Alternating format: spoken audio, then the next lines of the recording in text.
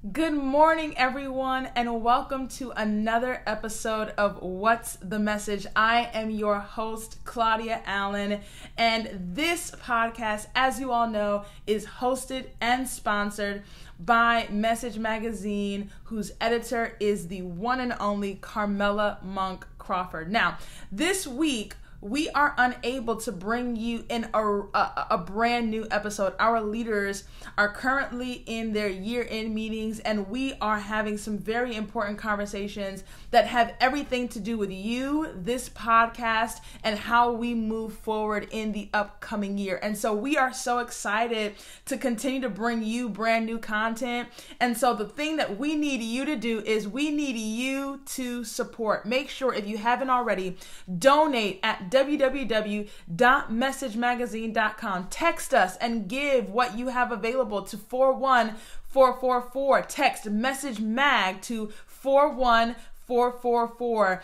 and donate. But even beyond that, we want you to actually get our print magazine.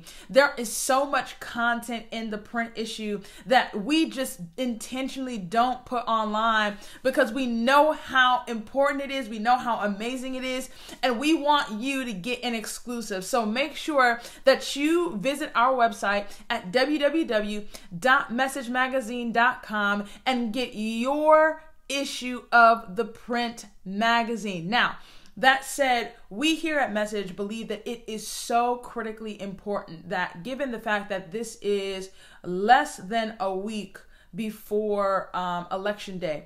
We think it is so important that we encourage all of you to make sure that your voice is heard and that your vote is counted. So make sure that you vote. If you haven't already mailed in your ballot, make sure to take your drop, um, your mail-in ballot to a drop box. I did that this week. Um, this week Tuesday, yesterday actually, yesterday morning, I went to a Dropbox, put it right in there, and this morning, um, the election board sent me an email saying that they got my vote and they've counted it. So this is the time. I know we always say that November 3rd is election day, but the election has been going on. We are voting. And so we want to encourage you to continue to do just that. Voting is so much more important than just electing a president, but we are voting for our local judges. We are voting on state and county budgets. We are voting on whether or not our communities get the resources that they need. And so it is so critical that you vote. And so because of that, we want to encourage you to tune in to this episode. We had one of the most powerful, inspiring episodes about voting with uh, Orlan Johnson, uh, Deborah Anderson, and Simone and Garrison Hayes. And I just want to reiterate this episode. We want to put this episode back out here because, in case you missed it, we want to really drive home the importance of voting. Check it out.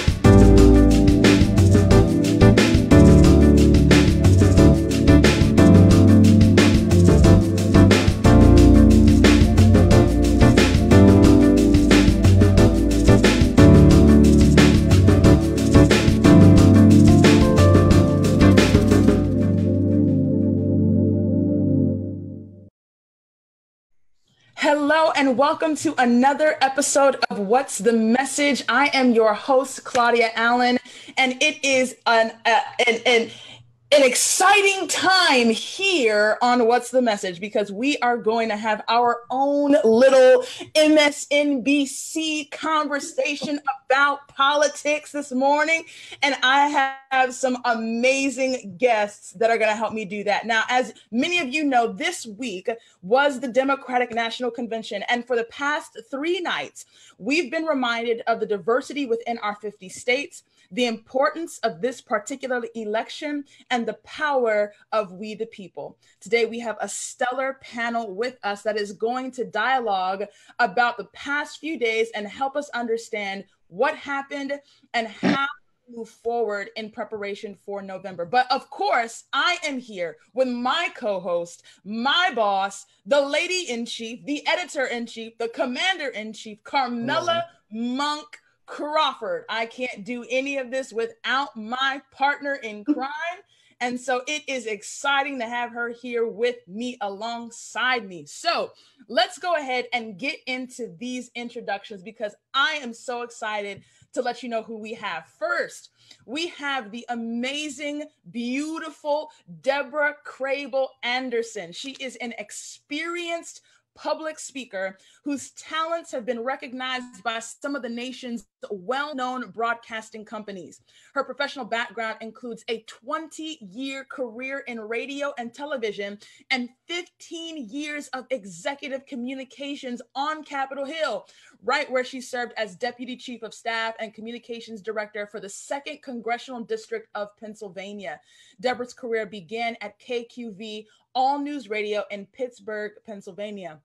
She has worked as a radio news anchor and talk show host and as a television news analyst in Philadelphia, Pennsylvania. Subsequently, she worked as the evening anchor at the all news radio station WTOP in Washington, D.C. Now, when the family moved to Okinawa, Japan, Deborah's thirst for media and news was met with an offer to host a public affairs show on the Armed Forces Radio and Television Network, a position she held during their three year stay on the island.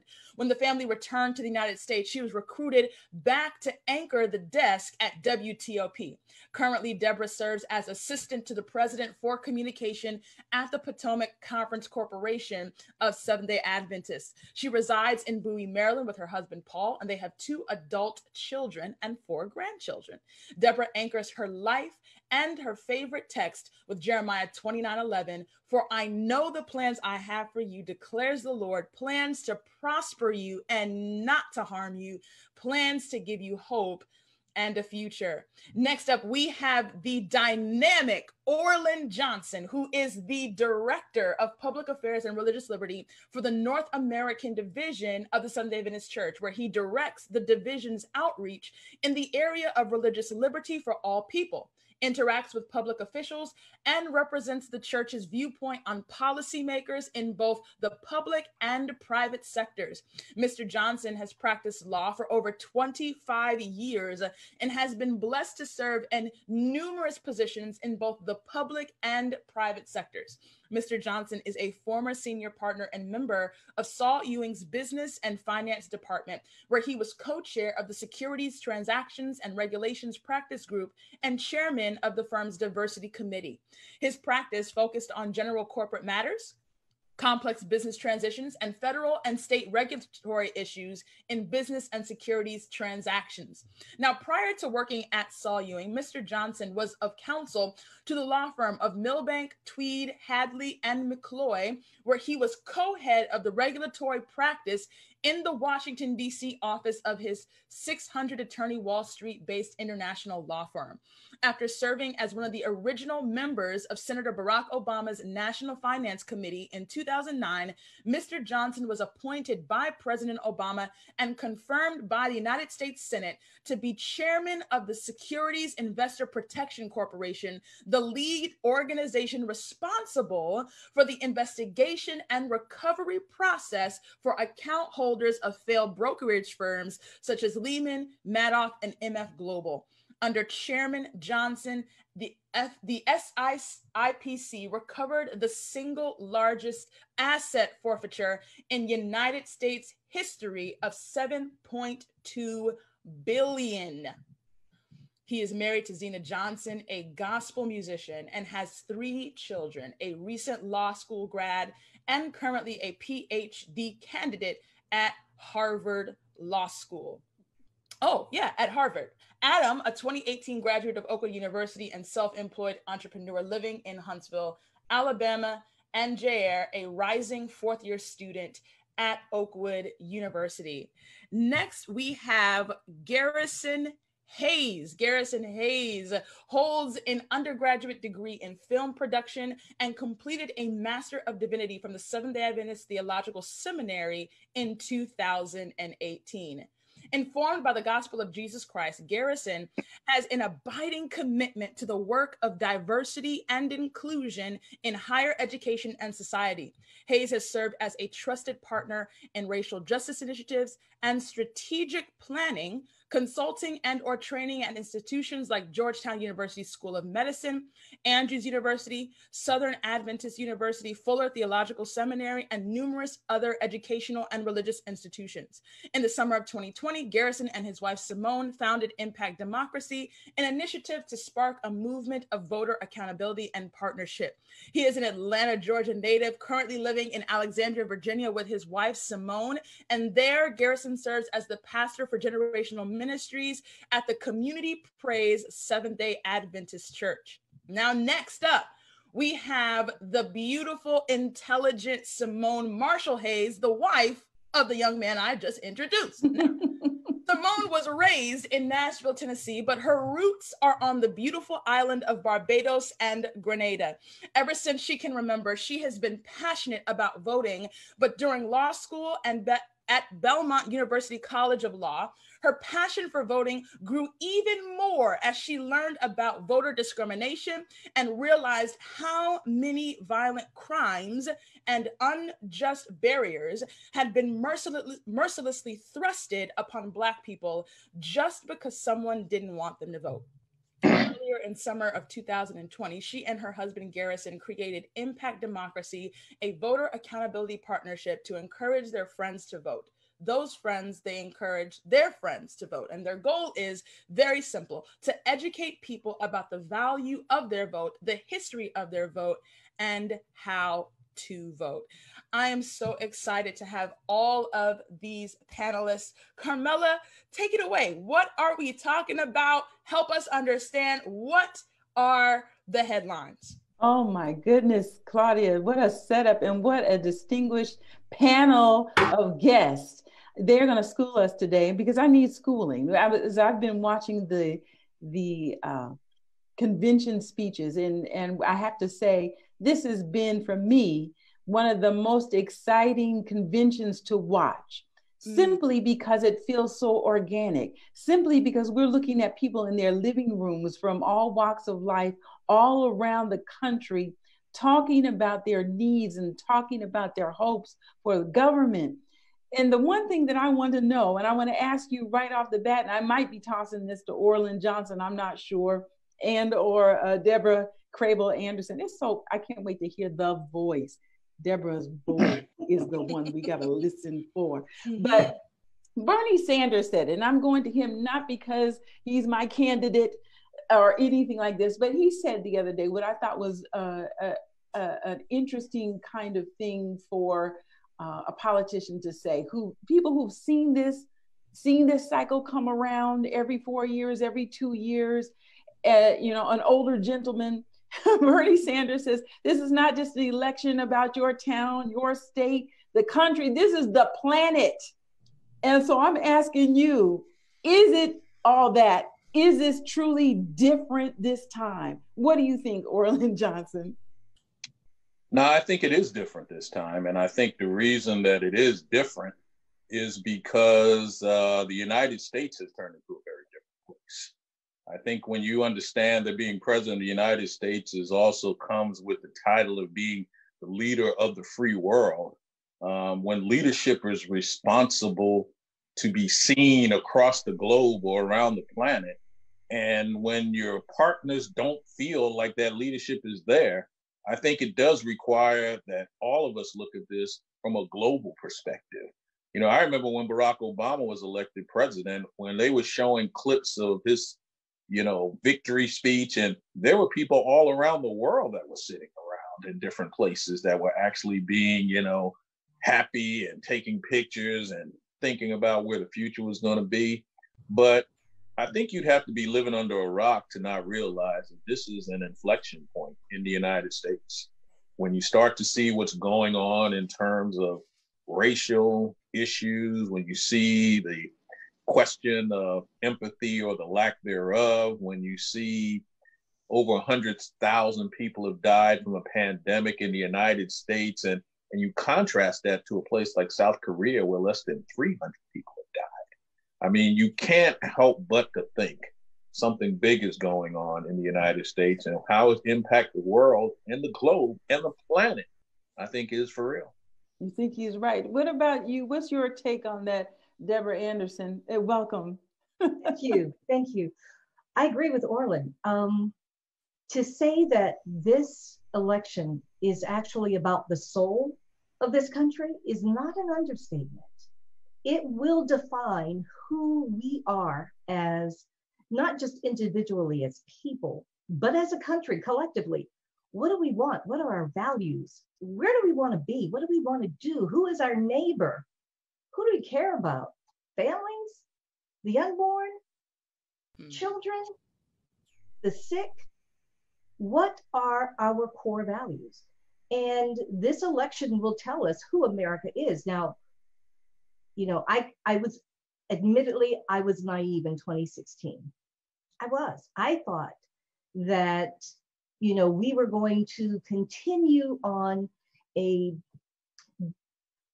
a path where democracy was honored and celebrated.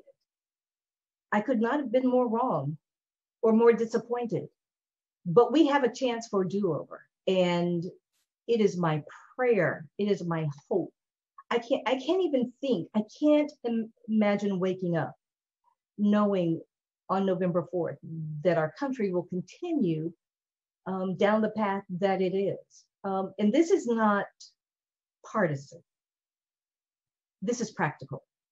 Mm. This is putting your feet to the fire and actually doing what has to be done to ensure that your children, my grandchildren in this case, are going to be able to live, survive, and be celebrated um, in ways that they have been before, and even looking towards the future in better ways, that they will be counted, that their lives will matter, that there will be somebody there to protect them. Mm-hmm. The soul of the country is at stake. And I just pray that everybody actually recognizes and honors that. You know, I'm a, a pass the question on to this lovely couple, the Hayeses, as well, but with a slightly different bent. I, I, I want to know what your thought is as we come to this moment. And I guess I'm coming to you with the assumption that you still think, because you are involved in voting efforts and you, the programs that you are working with, I'm coming with you to you with the assumption that you still think that the voting matters and it's going to make a difference um, in this time. Talk to me about where we are. Yeah, yeah, we do believe that firmly. Um, I think there are so many people working to prevent, um, particularly Black people, from voting. There's so many efforts designed to stop us from voting that it's hard for me to avoid the conclusion that voting clearly matters. And I think this moment is representative of that. I, Michelle Obama, both, you know, former vice, uh, former First Lady Michelle Obama and former President uh, Barack Obama gave incredible speeches over the last couple of days. But um, in Michelle Obama's statement, she she noted that in Michigan, um, it averaged the, the difference averaged out to about two votes per precinct. Uh, that led to Donald Trump winning the state of Michigan. If we really consider the fact that just two, if just two people per precinct showed up, mm-hmm. we would be living in totally different times. It's mind blowing. And, and, you know, we're led to believe that our vote, that one vote is just whatever, it doesn't matter. Um, but that statistic, that information that she she put out there to the American people, uh, really is, I think, a paradigm shift. I hope for someone. I hope that it it gives someone the the information that they need to make a wise decision which is a part of the reason why we're working so hard to, to get our friends to, to have accountability partners who have accountability partners, because those two votes could be any of us. You know, it mm-hmm. could be anyone who just decided it's not worth it. Um, just as, as former President Barack Obama said last night, we have the opportunity to decide whether or not we want to renew the contract for this president. And, and I think that those watching and so many around our nation have decided, I don't want to renew that contract. And in order to do so, you've got to get out there and vote. Yeah, I think that we really um, underestimated the power of not voting hmm. in 2016. I think that we just took it all like, oh, you know it's going to be it's going to go in a certain direction and i and i think that that direction felt sure because we thought that there was a clear path to political accountability if nothing else even if you didn't agree with every single thing that was coming out of certain parties mouths you knew that okay there's one person who is going to be accountable to checks and balances.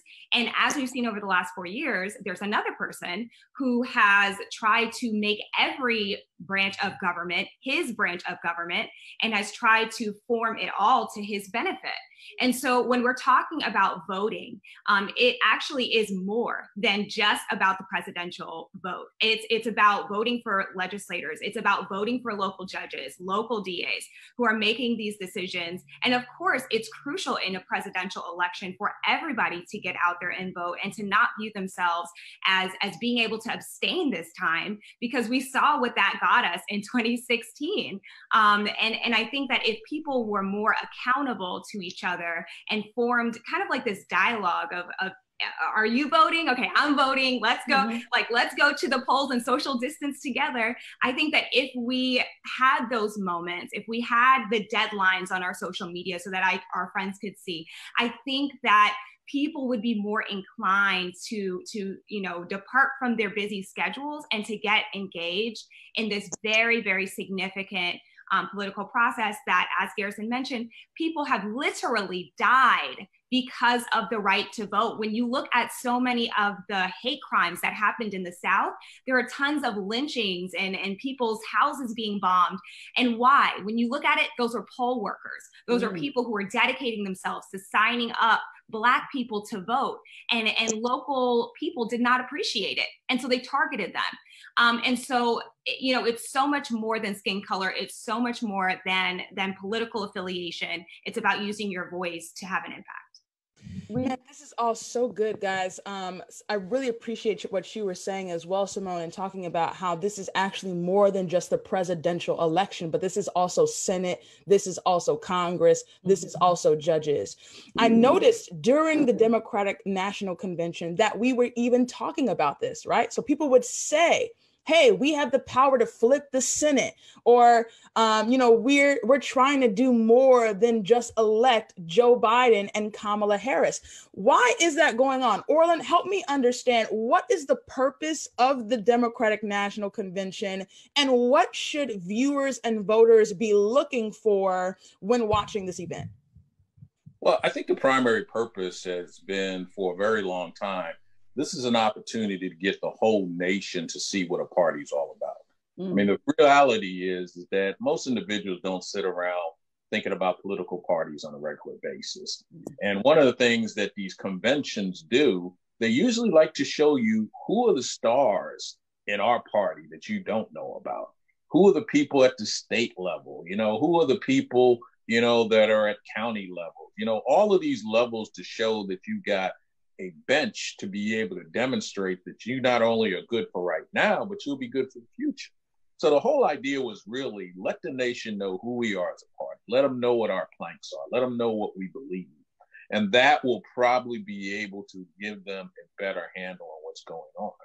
You know, what I found really intriguing is obviously I've been to a few Democratic conventions, I've been to a few Republican conventions. And to be able to see the contrast now you know, I was just telling my wife last night, this like felt more like the Grammy Awards than the DNC. You know, I mean, you got all this new feel, people singing like videos. You know, I, you know, and maybe I'm just too old to completely get it all, but I like the idea of showing people who you are.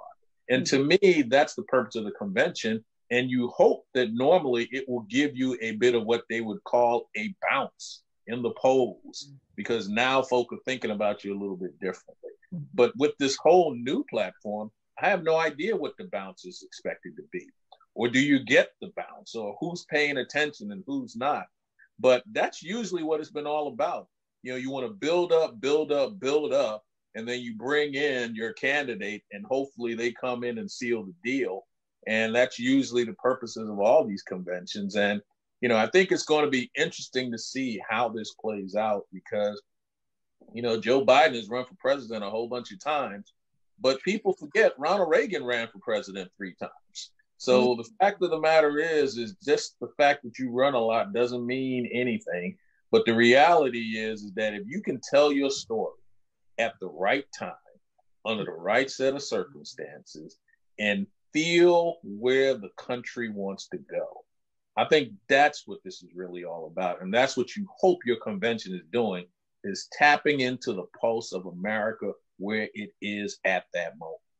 Yeah, Deborah, you have um, also actually been to a DNC and have worked a DNC. Could you tell us about that experience and how you even got to do that? Sure. It was probably, you know, when you rank um, experiences, if you give them a, a ranking of like one to 10, that one was probably number four.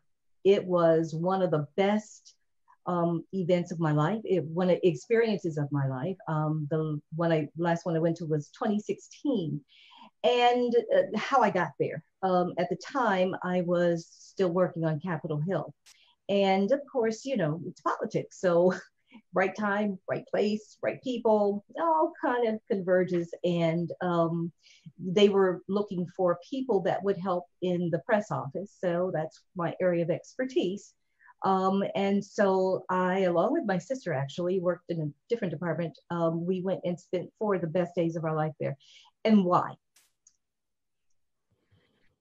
Because I felt like I was part of a process to help move the country forward, to deliver a message about, help to deliver the message about what the platform was all about, about where we were heading as a country or hoped to head as a country and it was um, a lot of work, a lot of long hours, but again, one of the most rewarding experiences. And one of the things I learned um, during that time was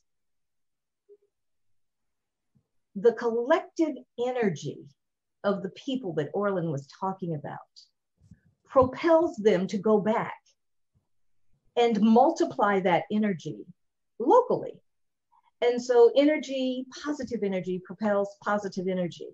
And when I came back from that convention, which was in August, August to November, I just did whatever I could do and encouraged people to do whatever they could do for whatever candidate. Because while I have my own particular um, political party that I'm affiliated with, I believe that people in general should exercise their right to vote should exercise their political leanings, however they feel those leanings should be. If they align with mine, that's perfect.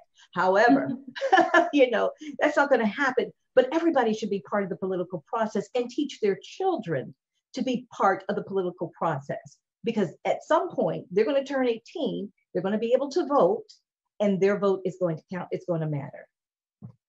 That's awesome. Guys, this is such a an, important conversation. So we want to make sure that you share this on your platforms right now. Click that share button um, so that everybody can get into this conversation about the soul of our nation. Carmela. I was just going to say, based on what you all are saying, and anybody can jump in here. As I'm watching this convention, and maybe Orlan alluded to this a moment ago, that yes, it is the opportunity of the party to relay to the uh, potential voters, the voter base, um, what the, the platform is, what the different planks are. But as I listen to the speeches, to me, it seems as though the number one plank, the all encompassing plank, is character. Hmm. As you look at ev- what everyone is saying, even you know your your policies may differ and, and we we've gotten to know these different candidates but from michelle obama to barack obama elizabeth warren bernie sanders all the way through character is what has been on the table. What do you think about my assessment? Do you think that that was um, inadvertent? Do you think that was a failure? Or do you think that's what the central issue is? Well from my perspective i think that was always the central issue in a campaign and when looking for somebody. And I think the idea of who you are as a person, what you stand for, that was always just taken for granted. You know, the idea that our leader would be always in support of democracy, that was just taken for granted. You know, the idea that maybe you really loved your family and loved other people, that was taken for granted. And when you start to see the nation evolve in a direction where it doesn't comport to what you believe you want to be or what you would hope to be, every now and then you've got to remind people this is what this is really. You know, yeah, listen, when Barack Obama was elected president of the United States, he was probably as different from George Bush as anything that you could imagine. I mean, the country decided to do something wild almost, mm-hmm. but it worked out. But every now and then, when you pull that wild card out, sometimes it doesn't work out. Mm-hmm. And to be honest, people talk about the Trump presidency. It's not the first time America has had a president that was a little bit on the edge. But I actually am one of those people who believe in the American people. I believe that they make decisions at times because of what they believe they need. But I also believe that that same group who made Barack Obama president, that made Donald Trump president, would be willing to turn based on what is going on in their life on any particular moment. And I think that does make a difference. And so, this idea of character, sometimes you have to remind people, you know what, character actually matters, you know? And sometimes people start taking for granted, you know, every now and then you want a president that you think you can sit down and have dinner with. And then, depending on what the world is like, you want a president who won't sit down and have dinner with me. He's hmm. not like me. He's not my friend. The guys I hang out with, I don't want that type to be president. So, depending on what's going on in the world, I think that's what's happening. And this year, I think the remembrance of character counts is a big part of what's happening. Hmm. Man, Carmela, I really appreciate that question. You know, I'm wondering, uh, you know, this is to anybody on the panel. You know, Michelle Obama absolutely stole night one, right? So we watched her steal night one. And she said, quote, this is not the time to withhold our votes in protest or play games with candidates who have no chance of winning. Now, mm. what do you feel like Auntie Michelle was referring to or trying to say. Now, is she trying to guilt us into voting for Joe? What what is Michelle talking about when she says that? Yeah, I, I think I think she's talking about you know obviously what happened in 2016. There were a number of people who voted for Gary Johnson and other third party candidates out of a sense of protest, knowing that they'd never have an opportunity to win. So I think that phenomena exists and it, it exists in almost every national election. But beyond that, I, I think you know there is a, a, a growing conversation about specifically within our community about people like Kanye West, who's running for president, um, and the idea that that maybe people will vote for him or think he will be better than than either of the two you know larger party candidates which is insane. I, I just want to say that on the record. That's crazy talk. Um, but beyond that i also think that you know speaking you know uh, more politically to the democratic party i think she's speaking to the progressive wing of the party. Uh, there is obviously a bit of disappointment amongst some progressives that um, a Bernie Sanders or even a, an Elizabeth Warren um, hasn't, you know, advanced and, and, and didn't, you know, make, make up enough momentum to become the candidate. And I think that there are those individuals who would like to kind of equivocate, who would like to say that oh, Joe Biden and Donald Trump are, are maybe the same in some way or another. And therefore, I'm just going to opt out and vote for the person who I want, which will probably be maybe a Bernie Sanders in that instance. And I, I, think she's just speaking directly to this idea of political change theory. I, honestly, I, I, don't know if people have a, a clear understanding at times of the way the political process works, the fact that you have to participate in the process and do the things like like what what um, you know Mrs. Anderson had to say about getting out there and organizing your your community and, and, and leveraging that momentum to make a difference locally, so that your candidate, so that your people can eventually take national take the national stage. I think it's important for for progressives especially. I've seen this a lot on Facebook. It's really important for us to to understand the political process in this moment, to understand what's at stake and to avoid the mistake of trying to champion some some cause to the detriment not only of ourselves but of those people on the border, of those single mothers, of those individuals who are facing, you know, loss because of this pandemic, because we wanted to stand on some principled ground that led to an individual like Donald Trump being in the White House making decisions that has led to at least 170,000 people dead. Yes. Yes. Talk to me about balancing your conscience in this in this when you're in the voting booth you're looking um, from the top all the way down to the ticket uh, to the bottom of the ticket. Talk to me about some of the issues that you should carry in on your heart and your mind as a citizen who's informed by biblical principles out there. Mm-hmm. i think that i mean i think that one thing you have to keep in mind is that it's a long game it's a mm-hmm. four year term that we're looking at. So people are kind of, some people are thinking, kind of to Garrison's point, is they're thinking about, okay, uh, what's my ideal candidate? How can I get them in office? Okay, but right now we have to make a decision for the next four years. And so walking into the booth, you have to kind of keep that in mind. Who's going to listen to me? Who's going to care about the things that I'm saying? Who is going to treat people um, even as Christians, who's going to treat people justly? You know, who's going to uh, treat them with mercy? Who's going to, you know, act with humility and listen to everyday Americans and, and care about those issues and, and care about small businesses and, and, and just really delve into some of those problems? I think that even taps back into character. You know, are we dealing with a person who is willing to listen. And, and therefore we can maybe push the needle on some issues and we can we can get them to kind of okay you're, here let's get you here. Um, and, and that idea of being able to work with someone over the course of time is so important to us to take that mindset into the booth when we're thinking about who to vote for. Um, if we're thinking, okay, I'm going to vote for this third party person or I'm going to vote for this, you know, eh, they're not going to win. And so at the end of the day, that that's not a, that's a short term game. And so we have to think more long term. We have to evaluate what's at stake and see how we can be strategic in out in achieving our goals.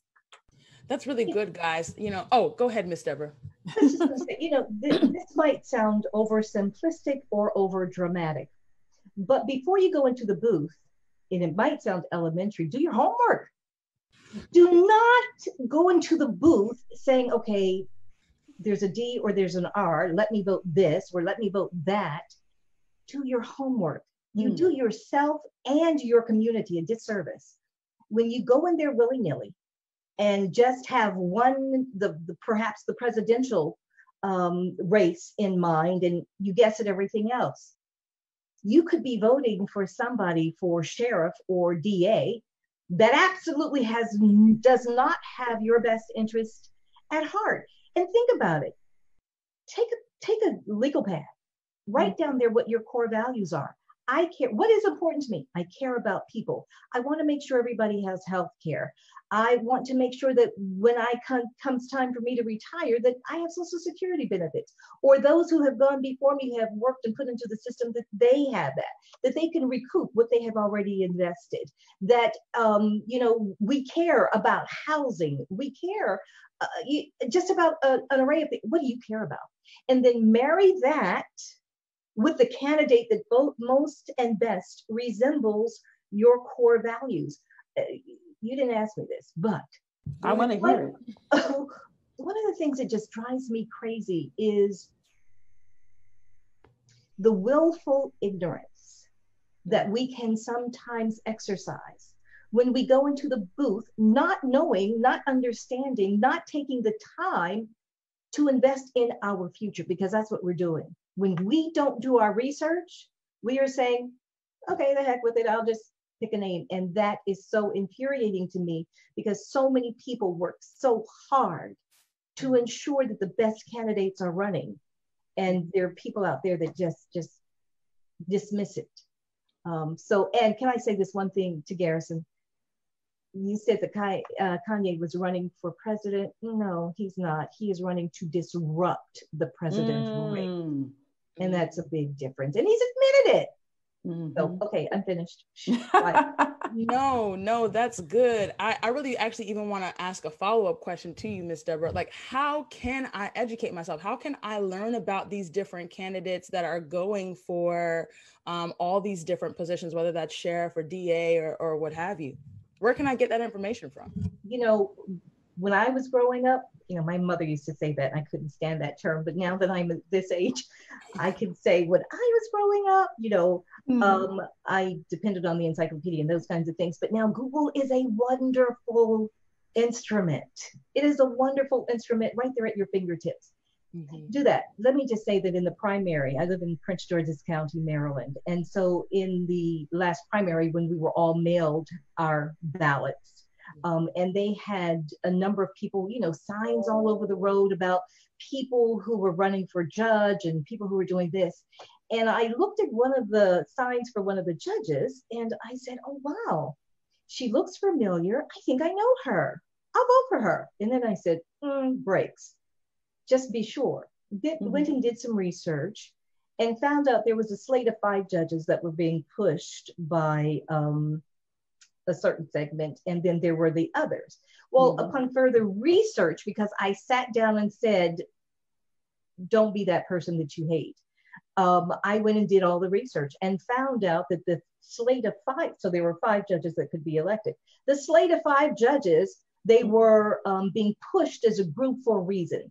And the reasons were their experience, their background, how they voted on the issues. These other two candidates who happened to be African American women, which mm. drew me to them and thought, okay, good, let's get some more women in here. But in further investigation, I found out they purposely did not participate, or one of them purposely did not participate in any debates, mm-hmm. um, had run several times with failed um, campaigns because she didn't do the work. She mm-hmm. didn't do the work. Mm-hmm. So research. You can find out, do um, Google, look at the articles, research their name, find out what they've been doing um, mm-hmm. or not doing. It really won't take you that much time. That's such a good point that you're making because that sort of echoes something that Simone was saying. When we're doing the long game, we're looking for people who are playing the game strategically and doing it well so that we're not throwing away our votes you know and so it's so important to do that research. I think the um, uh, one of our uh, one of the people who are watching right now online uh, is talking about going to community events and meetings so that you can see where people stand. You can see what is being discussed and participate in the process. Mm-hmm. i mean because you know election is just one part of our, our, our civic engagement but being at those school board meetings being at the zoning and the planning commission, being at uh, a lot of these boring things that we used to cover as journalists, and that, you know, fortunately we don't have to do that much anymore, but being there, seeing how things happen at the grassroots is so important. I love that. Thank you. I wanted to ask you, oh, somebody was going to say something. I was, just gonna, I was just gonna, yeah, I was just gonna quickly jump in and say there's a website, Ballotpedia, which is also a really great resource. Obviously, your local news is a really great resource as well, local paper. Um, most candidates will have some type of column or they will, you know, they'll be interviewed by the paper locally. So that's really important to, to, to, get information about who they are um, as well. And those are reliable sources. You know, I don't want to leave, excuse me, I don't want to leave, um, you know, the information that you find about a candidate up to just a kind of a random Google, right? Like I think finding credible sources is also very, very important. And Ballotpedia is a, is a good initial source. And of course, your local paper, as I said. Mm-hmm. One other thing, let me ask you um, just very quickly around the table. I would love to hear about your issues that you feel are so important right now. Um, uh, you know, for me, I've been doing. We we have a our cover story coming up for Message features Congresswoman Lucy McBath, and you may remember her story because she was the mother of Jordan Davis, uh, the so-called loud music case years ago, um, lost her son to uh, a, a, racial conflict. Racism was at the, the bedrock of that. And she decided to run for Congress after the Marjory Stoneman Douglas shooting, in which 17 uh, youth lost their lives and 17 people were injured. Um, I think the story is so interesting because of the arc of her going from grieving and losing her only child from that all the way back up to representing her community to make sure she could do something about guns and gun violence. And we see today uh, the Urban League reports that uh, there are studies that show that this year alone there are millions more guns being purchased, and that there's a surge in gun violence, and that surge in places where people are buying more guns also coincides with areas in where there is higher racial animus. And that's that's a, that's a very disturbing and scary kind of thought. And here this woman said i'm a sacrifice i'm a lay down my what i'm doing to get in this fight and get in the battle and the struggle. What are your issues? What would you like to see done? Hmm. well one of mine that i really feel will just kind of benefit us as a whole is violent crimes now, the irony is, is that violent crime in America on a whole has actually gone down about five or six percent um, over the last year or so. But murders have gone up by 16%. And the idea that we are seeing so much strife between our fellow man is something that I think we have to figure out how somebody's going to come in and impact that particular dynamic because something is going wrong where people are deciding that you can just wake up and kill people at a clip of 16% more than what you did last year. Mm. You know, you're not even getting out and robbing people now. You're not even getting out and stealing. I mean, you're not getting out and doing all these other violent crimes. You're actually ending people's lives. And to me, so much of that has to do with who we are as a people what we are trying to be, and also how do we help people to deal with mental health struggles that I believe are still a big part of even those numbers. And if we can figure out a way, in my opinion, to impact our world to understand that mental health is serious and we need to do something about it, I believe that we'll just be a better place and a better group to want to be around each other. Mm-hmm. Yeah, I, I think, you know, I'm, I'm glad that you brought up Representative McBath. I'm from Atlanta as well, and my family has known Representative McBath for many years. My mom sold her a house in Atlanta a long, long time ago. Mm-hmm. So we're, we're kind of closely connected there. And I think what she represents is civic engagement, seeing something and doing something about what you see. And that's the issue that I'm really, really passionate about um, is for people to know, to be informed, uh, so information and participation. I, I meet so many great people that I think, man, you have great ideas, and so many of us agree on so many things. Why is it that our nation is crazy the way it is? Yeah, I think so many of us look around and like, I'm I'm normal. This is something that Hasan Minhaj said. I'm normal. You're normal. What's going on with our government? It doesn't make any sense. And I think the reason we're in the predicament that we're in is because we, we have so few people participating and making decisions. And so, more participation, um, increasing our engagement with democracy, I think will be an amazing thing, which is, of course, why we started Impact mm-hmm. Democracy. It is for that exact and express purpose information so that people know what's on the ballot, they know who the candidates are, they know the way they can be engaged, and by engaging, making a difference. Mm.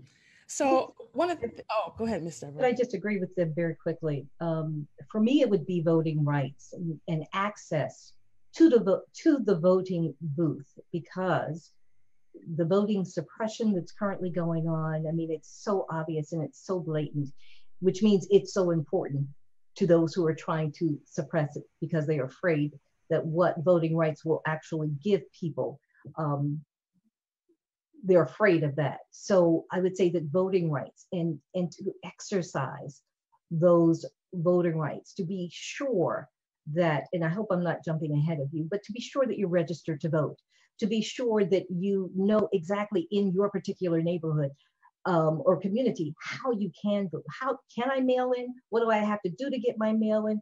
Is it too late? When should I get it? How should I return it? Do I mail it? Do I take it to the precinct? Can I take it right to the commission?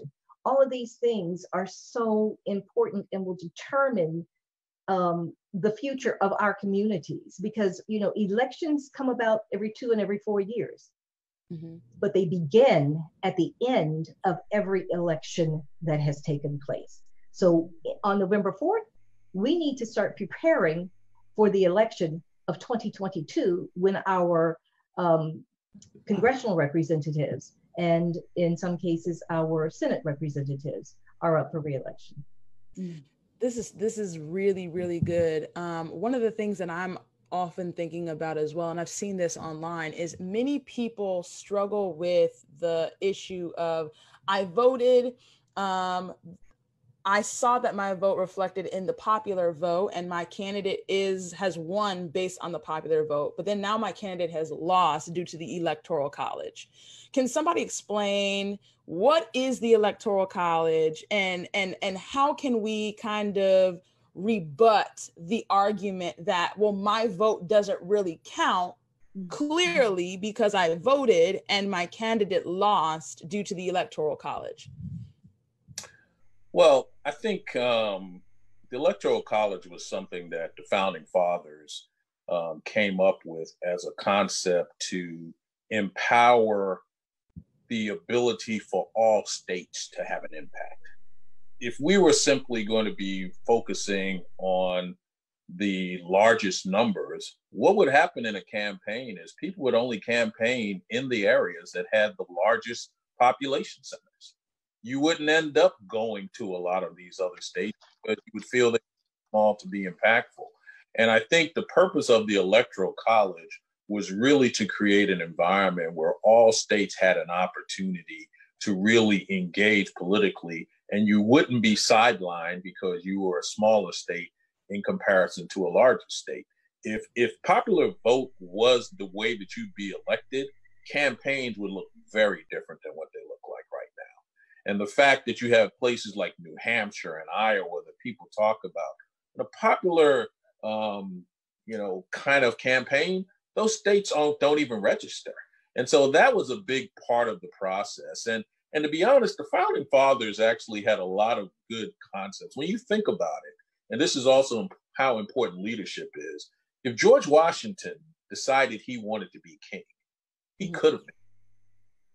But because he decided not to be king, our wow. country is a very different place. You know, when leadership has the ability to step back, when leadership has the ability to want to empower those who may not have the same amount of juice that I have, that to me is your first sign of greatness. So, in my opinion, the Electoral College is, was to create an environment where we were not just simply going to be a confederation of states, but we were going to have a political system where we would really be the United States of America. And that's my understanding of how it works and why it's in play.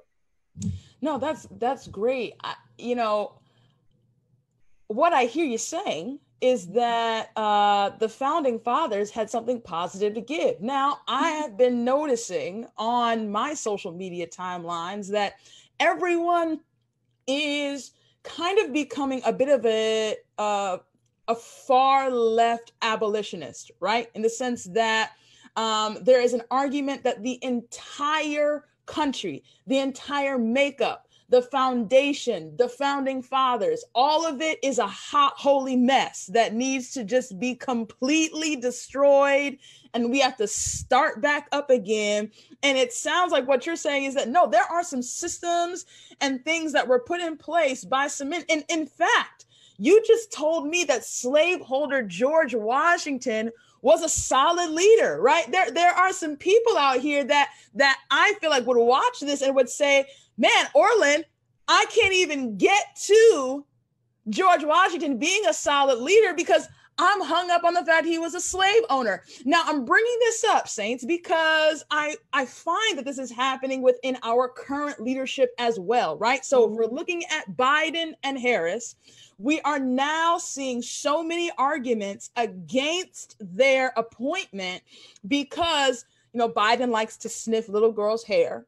Uh, he clearly likes giving massages and is just a very um, kind of that like your old creepy uncle um, that people. So are, they say. So they say he's a little uncomfortable on camera, and then Kamala Harris, the sister who went on live DNC last night, gave the AKAs a shout out uh, the Divine Nine HBCUs, and her whole outro music was Mary J. Blige. Like that, like that chick is the same chick who, who, according to some people, as a DA, literally put in policies that were against Black people that have perpetuated police brutality and mass incarceration. So, so how do we as a country, how do we as voters?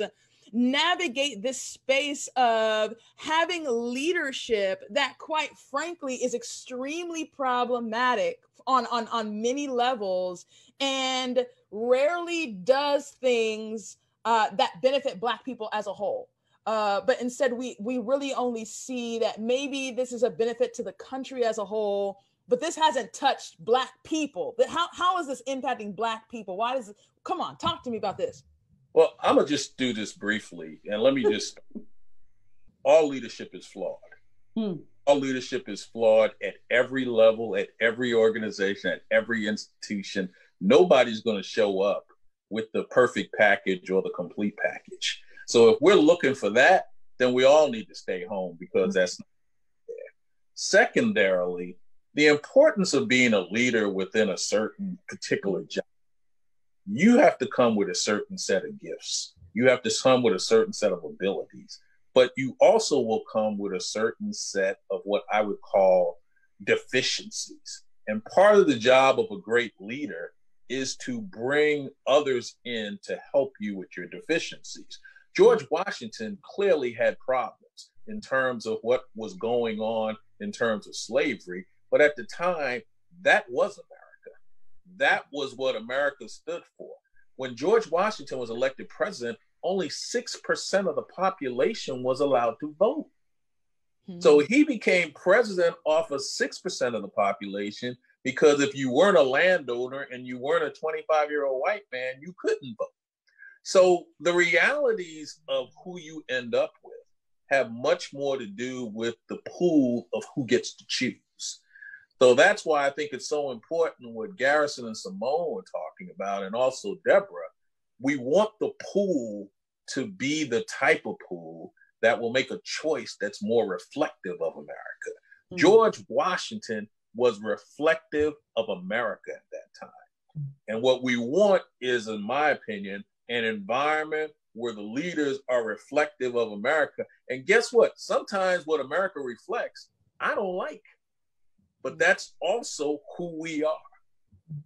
Mm. I want to get biblical, but I think the Apostle Paul says the good that I thought I was going to do, I never do. And the evil I thought I would never do, that's what I do.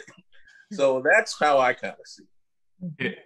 Yeah, I would love to jump in there as well and introduce a, a, word into our into our conversation today, and it's anachronism. It's when we judge the past based on the present. And that is often the case with a lot of these, honestly, disinformation campaigns that are being levied against people like Senator Harris. Um, when she was a, a, DA, a prosecutor in California, the things that she was doing, they, they were progressive for the time. Uh, she's had a number of witnesses come forward. Uh, those who worked with her at the time and said that she was actually one of the most progressive prosecutors in the state at the time. But times have changed. And mm. now we look back on that with with with skepticism. We look askance at some of the things that she did then because we're like, whoa, whoa, whoa, we wouldn't do that today. But we have to be careful not to judge today, judge the past based on where we are today. The same thing applies in many ways with with uh, former Senator uh, Joe Biden when he was uh, authoring the crime bill at the time. Mm he had large support within the black community for those for those bills. There there were people who thought, no, we need to crack down. There were those within our communities who said, no, we need to do something about this. And now we look back with with clarity, we see how it played out, and we say, man, this was wrong. This was not right. It shouldn't have happened. And that's an appropriate response today. But we have to be careful not to judge the past based on where honestly God has brought us, mm-hmm. the way that God has progressed society and our understanding of one another. Today, we should not look back and judge people um, in, in, a way that they were in the past. Think about the way that, that Dr. King says Negro and other leaders at the time used words that today we would be offended at the, at the usage of those mm-hmm. terms. Um, but we recognize that times change, our understanding changes, and, and that's okay. That's a good thing. And can I add to that that, you know, I'm glad we've gotten some of those mistakes out of the way. Um, we can learn from them, right? And, and as we look back, we say, oh, that that was not the approach. And we've actually learned from the way that things have panned out the way that certain systems actually affect communities, right? The crime bill, the way that over policing Black communities led to over arresting, led to over criminalizing, led to mass incarceration. So, so we've seen how systems play out in our modern American world and um, society in a way that allows us to make more informed decisions. I also want to add in there that, you know, when we're looking at candidates, we have to take a fuller view of what they actually stand for. For example, um, Kamala Harris is against mandatory minimums um, on a federal level. That's a major um, policy decision law that really disparately affects um, Black communities, right? Um, and she's against privatized prisons. That's another hot topic. There, she's against the death penalty. That's another issue. So, so there are a lot of things that are progressive about these candidates that we kind of because we get hung up on on a couple decisions that were made that we don't agree with um, and understandably so that we are so passionate about those things um, but but looking forward playing the long game like we kind of talked about earlier uh, we have to look at okay but have they learned from their their mistakes? And and are they willing to do things differently going forward? And if the answer is yes then i think we have a system in which we can work and we can actually formulate um, things going forward. We, we would actually should be concerned if they didn't do anything during their time. That means they're not a mover and they're not a shaker and they don't care about change. They may have made the wrong decisions, but we have to look at their desire to, to make a change in communities, to see things turn around and say, okay, at least they're willing to move and to shake. Let's work on how, let's work on who's informing them. Let's work on getting people out there who have um, progressive and positive um, Black community and, and, and other marginalized community facing policies so that we can move forward. Mm-hmm. Excellent. What you were gonna say something, Claudia? oh, no, I thought I thought you had a question. I can always go. no, no, no. I I definitely have a question. I think you know something that you hit on. And I know it's time for us to wind down, but uh, what you hit on is something that Barack Obama said last night, or was kind of hinting toward, is that that cynicism is the death knell of what's going on. People who feel like there's no way to win, there, you know, my vote is not going to count these candidates are not worthy. Um, the, the one thing that will kill our passion in our democracy is the idea that it's just not going to matter. And I see the flip side to that, um, um, the cynicism. I, I, would also say is sort of, it, could push back on me, especially you Christian folks. it's sort of like a Christian nihilism in that we feel that this is going to end anyway, so bring it on don't engage or let this just happen the way it's going to happen good that's fine I, I find that problematic just as problematic as well because then you're acting or you're not acting to help people as well what do you think about that i know we got to wind up after that i'm sorry can I can I can I share one quick story before we go and make two points in if I can? Mm-hmm. Um, when we think about what difference our voice, our vote makes. I want to recount to you a story, uh, something that happened in experience. In the 90s, when I was working in Philadelphia, I had the opportunity to, I was working in Philadelphia. So we had the opportunity to have an event called uh, the Sisterhood of Cities. And so we traveled, a delegation of us from Philadelphia, Pennsylvania to Philadelphia, Mississippi. We did that to commemorate the anniversary of the death of the three summer freedom riders. You'll remember them as um, Chaney, Schwerner, and Goodman. And as we um, landed, got off the plane, and just made our way to the site of where their bodies were found, which, and then we made our way to the home of Mr. Chaney's mom, James Chaney's mom, I had the opportunity to sit and talk with her. And she was transported back 30 years ago. All of the raw emotion, the hurt, the anger, the grief. came out in my conversation with her. She knew that her that that summer, she knew, and her son knew, he was not going to make it through that summer. Mm. He knew that the work that he was doing, along with the other freedom riders of the summer of 64, he knew they understood the depth of the importance of what they were doing. And they knew because it angered so many people, they were not going to come out of it alive. Yet they were determined, they were still in their resolve to make sure that they did everything they could so that all of us would have the opportunity to vote, no matter what we look like, no matter what our education. Um, and so when I hear people say, oh, my vote doesn't count, you know, when people say people die, that can be, you know, a, a, a statement that you can't put a face or a person to. But I was able to put my face and my person to James Chaney and his mom and understand the major sacrifice that not only he made, but that she made mm. In him giving his life. So I would say to every young person, every old person, every person that is bothered by the system as we know it and think their vote doesn't count. Yeah, it does, because somebody died for that vote. The other thing is check out the state that you live in. So I know that there might be people tuning in from different states, but check out the state you live in. If you don't think your vote counts, when it comes to the Electoral College, there are 29 states that require their elect um, their delegate uh, for the for the electoral college to vote the way the popular vote went. There are 21 states that don't.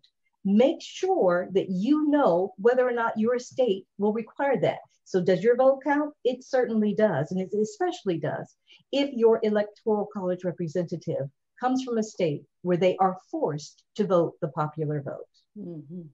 Wow this is so good. You know, I really want to just kind of go around um, and just kind of share what are some practical resources, some practical means of engagement. Uh, Ms. Deborah has already kind of opened that door for us a little bit to to really understand how our vote counts.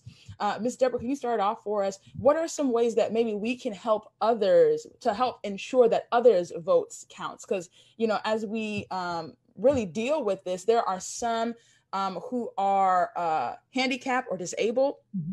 Um, and you know we are in a pandemic mm-hmm. right mm-hmm. we are going to be voting in a pandemic mm-hmm. and that's something that we've never really done before how can individuals who maybe have underlying health conditions and don't want to expose themselves to the elements how can they cast their ballot safely? How can maybe we as millennials um, assist and help others and, you know, different things like that? You know, we can't necessarily set our churches to be polling places anymore, but mm-hmm. let's maybe kind of talk just very briefly, you know, what are some practical things that we can do to help ensure the protection and the casting of others' mm-hmm. votes? Such a good question. Do your research. Again, everything goes back to your research. So, most people, a lot of people, a number of people are going to be voting um, by mail in in ballot.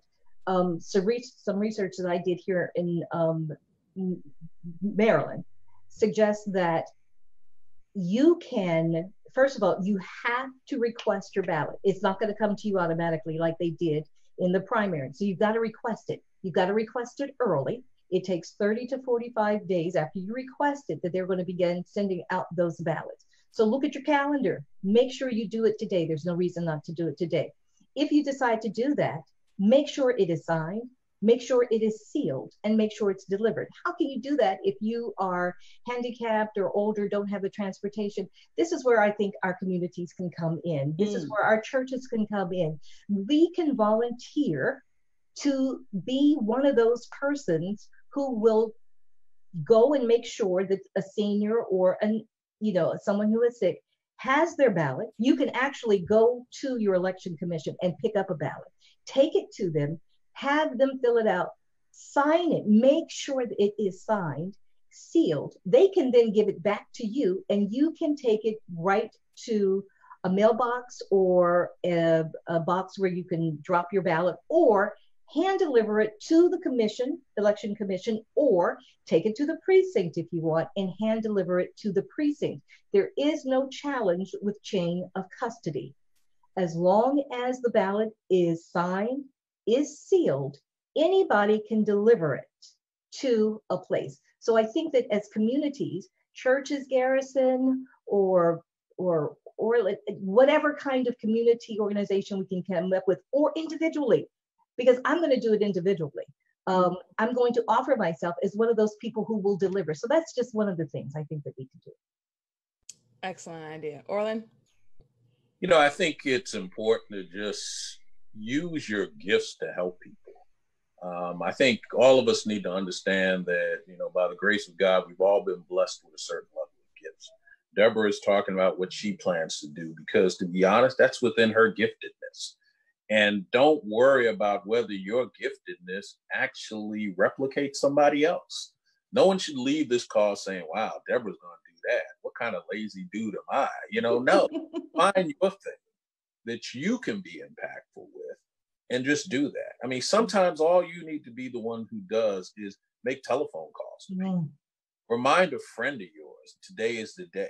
You know, remind somebody, request your your mail-in ballot today. You know, it doesn't take much to just try to be impactful. And you don't have to change the world. Right. If you change the attitude or the actions of one or two people that you don't touch, it's already a game changer. So that's my opinion for people. Just do what you do. Bloom where you plant it and don't worry about how you compare to other people's gifts. That's such a great segue. Uh, Simone and Garrison, talk to us a little bit about your thoughts and, and share with us about impact democracy. Yeah. So, um, you know, impact democracy, again, it, we exist to spark a movement of voter accountability partnership. That's why we started this. Honestly, it started because there was a time many, many years ago when I first met Simone, I didn't vote. I, I, I didn't think it mattered. I was the victim of a suppression campaign that told me my vote didn't count. It didn't really matter, right? And Simone was very, very instrumental in telling me, get your behind out there and vote. And I'm thankful for that. She held me accountable and it actually worked. And so we started Impact Democracy for that very purpose. You can follow us on Instagram or whatever, but but more than anything, find two other people that you are going to connect with and say, we're voting together. And then encourage those two people to find two people. And think about how impactful that exponential, uh, how the impact of that kind of exponential connection um, will be for our democracy. And the second thing that I want to say, we're launching this campaign uh, early next week, but we're trying to encourage young, healthy individuals to be election poll poll workers. Um, obviously, if, if you've ever gone to vote, you know that the poll workers are normally retirees, people who have maybe a little bit more time. We're trying to get people to take the day off. I'm doing it. Take the day mm-hmm. off and go and work the polls. Here in Alexandria, you have to get there at 4:45 a.m., but they pay you $150. So it's worth your time. But more than anything, it's ensuring the integrity of your election. It's making mm-hmm. sure someone's there. It's making sure that this thing happens. That's the least that we can do for our communities um, so those two things, join us, impact democracy, but also find out how you can become a poll worker in your local county or city.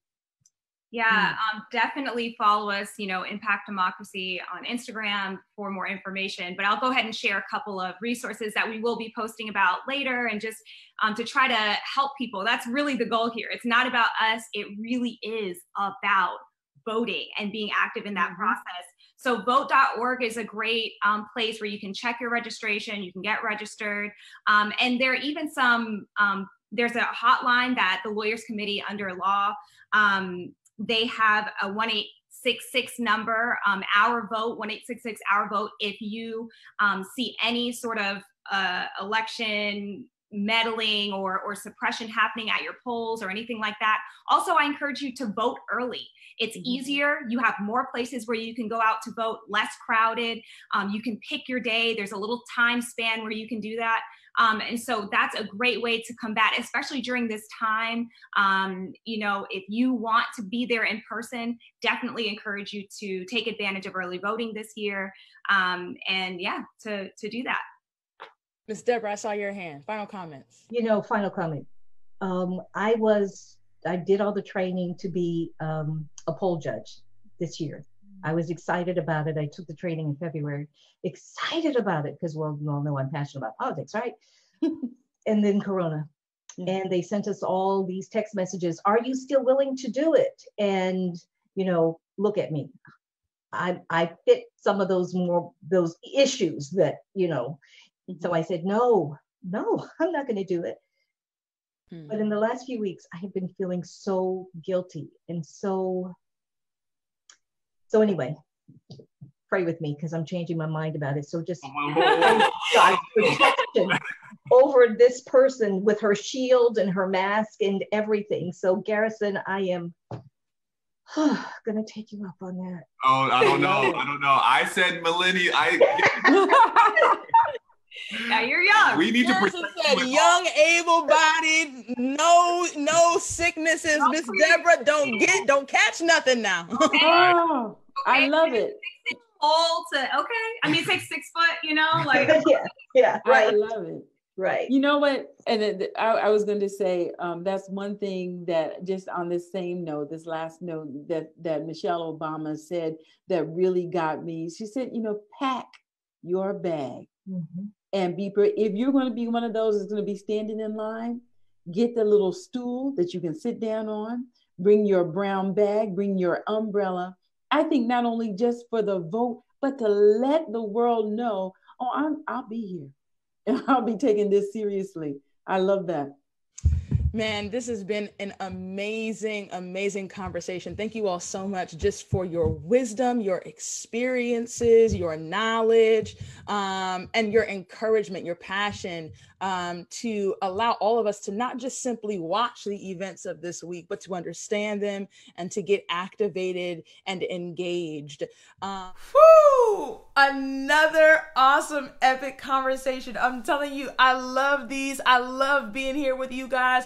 I love having these conversations. They are so, so important. I know that you were encouraged and inspired, uh, even just rewatching that episode. I know I was. I absolutely loved hearing the things things and the experiences um, that Garrison Hayes and Simone Hayes and Deborah Anderson and Mr. Orlan Johnson had and that they shared with us. So, thank you so much for tuning in another week. Listen, okay, big announcement. We're going to be back in the saddle again live next week. So you do not want to miss it. Make sure you tune in next Thursday, uh, November the 5th right? Hold on. Yes. Tune in November the 5th, 11 a.m. Thursday. Guess who the guest is going to be? Listen, my mother. yes, you heard me.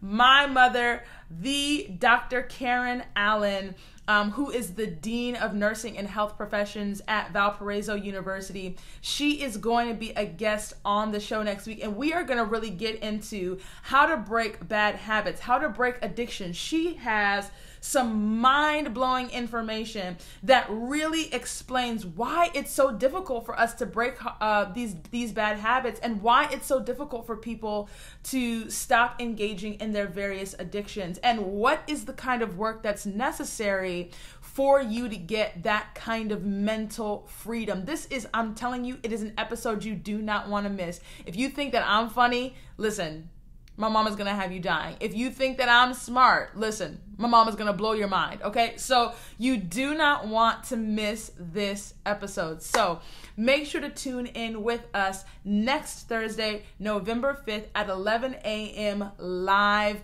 I am so so excited to bring my mom to the podcast to introduce to to introduce her to so many of you and quite frankly, some of you probably know her and you just didn't know she was my mom. So we're gonna have a, a great time together. I'm sure you're gonna be shocked. You're gonna be like, oh my goodness, that's her mom. Everything makes sense now. So I'm super excited to bring her to you, um, to introduce you to, to introduce her to some and reacquaint her with others. So I'll see you then. Of course, as I always say, follow us on Instagram, on Facebook on Twitter at message1898. Go to the website, www.messagemagazine.com. Get your print issue. What's the message doesn't happen without Message Magazine. So make sure that you are supporting Message Magazine as our leaders are currently in some intense, important conversations about further furthering that support for this magazine for this ministry. We love you, we appreciate you, and we cannot wait to join you live next week, Thursday, November 5th. I'll see you then. I think the one other thing that we have to remember Our behavior is definitely influenced or impacted by like our I'm a seventh day and we know that excited that with the powers of Zoom and the like, uh, we can still um, uh, the eating of certain animals. headlines. I am your host, Claudia Allen. This is my chief executive. right? Um, so many churches are actually Eighty percent of the affiliates, ABC affiliates here in the United States, picked it up. not telling the truth and going back to let's just dip this some water of up. the issues. And so we live our lives working. If you think about brother from another mother, the pastor Richard Bird, and I'm telling you, you know, we handle the heavy stuff. We do the heavy stuff.